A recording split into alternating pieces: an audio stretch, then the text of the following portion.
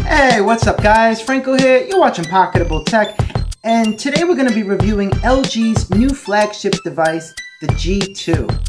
In this review, we will be covering all of the important factors such as hardware, software, optics, and features. Immediately after watching this review, you will have all the necessary information in making an informed decision on whether or not the G2 is worth your hard-earned cash. So without any hesitation, let's move forward and go ahead and review the LG G2. Right at first glance, you can see that the G2 is unlike any other handset on the market at the moment.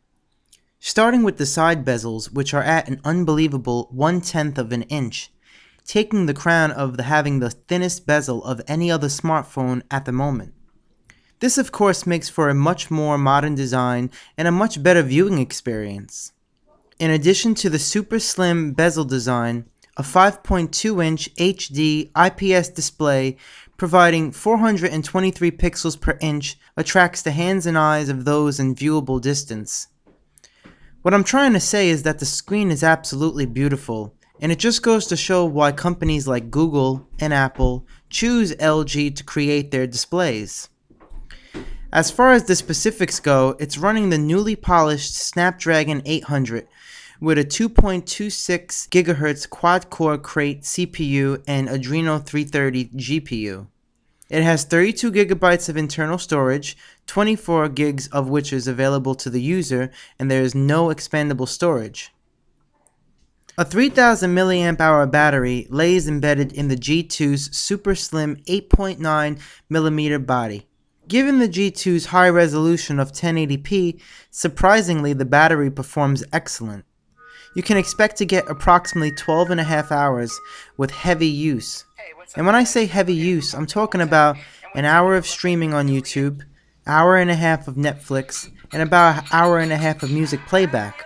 All that along with daily checking of mail, social media sites, messaging, and taking pictures and video, with the screen brightness set to 70%. To say the least, I was very impressed with the battery performance, and with moderate use you can easily make it through a day and then some.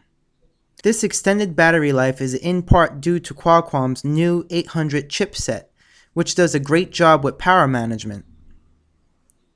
Also, I had some questions asked to me concerning overheating, and I can tell you that during my time with the G2, I noticed absolutely no overheating or significant heat of any sort coming from the device, which again is probably due to Qualcomm's refined 800 CPU.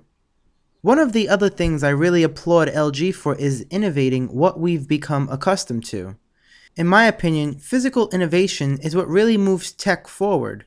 Just like we saw what HTC did with the HTC One by innovating and redesigning the speaker placement, LG went ahead and took their own approach to redesigning the smartphone as we know it, and created a phone with a buttonless design. There is only one physical button on the phone and it's located uniquely on the back of the device right underneath the camera lens. Now, it did take some time getting used to not having the volume rocker and power switch on the sides of the phone, but after a few hours it became second nature to use the back button, since my index finger was already naturally there. Also, with the feature that LG has implemented called Knock On, which allows you to tap the display to wake up the device, it therefore makes interacting between the device more intuitive, and I actually have come to find it quicker than finding and pressing an actual physical power button on the sides of the phone. Like I said just a minute ago, it does take some time getting used to, but once you do, it feels very natural and you'll find yourself accessing your cell phone a lot quicker. On the top right of the display, we have an LED notification light, and I can't tell you how much I missed having this on my phones. Red, blue, and green are the colors that are displayed and pulsate when you either miss a message or a call, when the device is charging, and when the device is powering on. Moving along to the software side of things, the G2 is running Android 4.2.2 Jelly Bean and is very close to the stock Android experience with very little bloatware and no overwhelming skins of any sort. Before unlocking the phone, you have a few quick options displayed which allow you to quickly launch apps from pressing the app and sliding to unlock as you normally would. Also, you have options to add widgets to the lock screen if you choose to for quick viewing. For the shutterbugs out there, like myself, who are interested in dedicated camera buttons and quick methods for launching the camera, we have three options on the G2. First, which is the quickest and most efficient method, is by long pressing the back button downward. This will launch the camera in approximately 3 seconds. The other way to launch the camera is from the lock screen. By simply sliding to the left, it will launch you straight into the camera app. And the last method for launching the camera is by reorganizing your main app tray and manually placing the camera app icon itself front and center. By pulling down the notification shade, you'll see a very stock Android experience with some added LG customizations. You have quick access to Q-Slide. And now what Q-Slide does is it gives you another method for multitasking. Upon pressing Q-Slide, you will see a number of apps revealed, which can be opened in the form of small windows, which you can then further resize and make transparent. These windows will stay open in the background while you navigate around the phone, and you can have open two windows at a time. Another method of multitasking LG has introduced is called slide aside. And pretty much what this does is it allows you to save up to three apps by pressing on the screen with three fingers and sliding to the left. And then the reverse action will bring them back, whereupon you can just slide up to close or X out of it. I can't say I used this option much, as it felt to be sort of redundant, especially when I can easily access my multitask panel by using just one finger. Back in the notification shade, you'll have access to Quick Remote, which uses the IR blaster on the front of the device and allows you to control a number of electronics and it actually works very nice. And having it in the notification tray really makes it convenient to get to quickly. Quick Memo is also something very useful to have when you need to quickly jot something down. You can access Quick Memo from the notification tray or by long pressing the back button upward. Also in the notification shade, you'll have quick options to adjust screen brightness and call volume, which is very nice. A few other pre-installed apps you'll find on the G2 are a dictionary, voice recorder, and an FM radio, all which are very useful and add to the user experience. A few other features which I mentioned in another video are plug and pop, which is a feature that recognizes when you have plugged a 3.5 millimeter headphone set into your into the jack, whereupon it then gives you a list of options of applications you may want to initiate. Again, this is just adding more towards the G2's hands-free approach. Capture Plus is another one, and pretty much what this is is an updated way of taking a screenshot and very intuitive might I say. So what this does is it allows you to take a screenshot of a whole web page and then later on go back and adjust and crop it to your liking. There's also a guest mode which I really didn't use but it is there for those that need it and it works by using the pattern unlock. You make two different pattern unlocks and one would be for guest mode. So when you unlock your phone with that pattern, it'll go to a different UI where you have certain applications and certain things that you want those people to see. Whereas all your other pictures and other apps that you have downloaded could be saved and hidden from view. So if someone wants to borrow your phone, you can easily just put in the guest mode pattern unlock and it'll go right to guest mode pretty cool feature. And lastly, there's also a feature called Answer Me, which I've been using the whole time I've had the phone. And pretty much what this does is whenever you get a phone call, instead of having to press OK or the phone button to slide up to answer the call, simply all you have to do is raise the phone to your ear and the sensors on the phone will, will know that the phone is by your ear and automatically pick up the call for you. Now on to the optics. And for those that follow me on Instagram and Facebook, know how much optics on a smartphone matter to me. In the optics department, the G2 is sporting a 2.1 megapixel front facer and a 13 megapixel lens on the rear, which is covered by sapphire crystal glass, which is supposed to help and prevent fingerprints and scratches. Aside from the 13 megapixel lens, optical image stabilization has been built into the camera hardware. The OIS performs nicely and does the job in preventing blur-free images most of the time.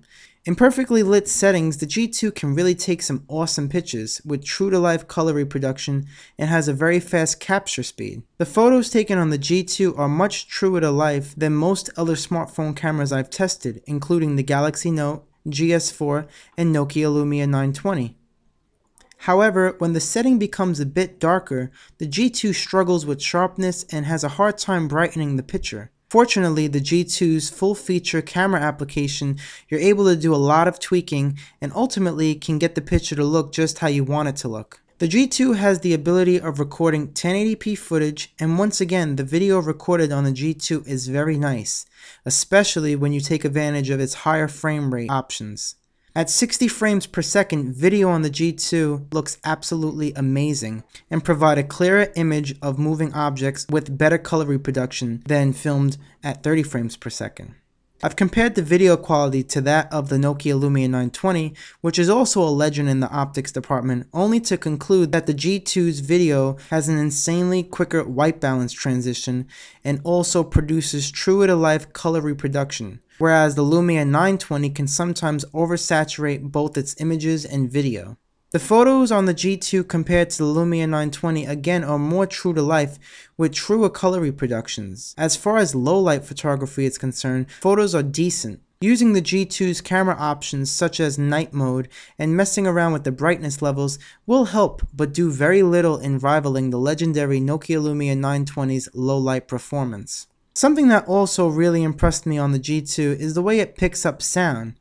It does a great job at recording sound, and what's even cooler is that you're given the ability to select which microphones on the device are more dominant. For instance, after you're done recording a video, you can go back and adjust whether you want the audio to be centered or whether you want the right or left sounds to be more dominant. While live recording, you have the ability to actually zoom into your point of interest and pick up the audio in just that area. LG is calling this feature Audio Zoom, and it surprisingly works quite well. Okay, so in conclusion, my final thoughts are the G2 feels good in the hand. Despite its plastic hyperglaze finish, it still feels very sturdy and far from cheap. Also, despite it being a 5.2 inch device, the lightweight and curvature makes it very easy to hold and pocketable. Would I suggest you to spend your hard earned cash on this phone? I definitely would. But then again, it also depends on what you're looking for. If you're looking for an Android phone with an innovative design and an amazing 1080p display, then go for it. The G2 without any hesitation has one of the best displays money can buy. If you're looking for the best low light photography on a smartphone, then you might have to consider switching platforms, since the higher end Lumia devices running Windows Phone have been shown to excel greatly in this department. If you're an Android user with no intention of switching platforms, then the G2 is still a very good choice and in my experience outdoes its top competitor, the Samsung Galaxy S4 on every note, from its display to the fact that it has optical image stabilization and a full-featured camera application. Is speaker quality on a phone really important to you? If so, the G2 is going to disappoint somewhat. Although LG is boasting a hi-fi audio playback featuring a 24-bit 192 kHz hi-fi sound, although they do sound great when using headphones, the physical speakers on the device do not provide a well-balanced sound at all. Even though they're loud, they produce absolutely no low-end or mid-range frequency, making music sound very shallow and tinny. Still, watching and listening to Netflix and YouTube videos is just fine. It's just when listening to music, this lack of low end and mid range sound really affects the musical experience. So for that, I would say make sure you plug in a pair of headphones or hook it up to a wireless speaker if you plan to listen to music. Alright guys, so that's going to do it for this video. If you guys want to see more content like this, definitely do click that subscribe button below where you can keep up to date with mobile technology in an ever-evolving world. And if you guys enjoyed this video, please leave it a thumbs up and if you have any comments or questions, you can leave those below as well. Once again, you've been watching Pocketable Tech, and I'm Franco, and I will see you guys in the next video.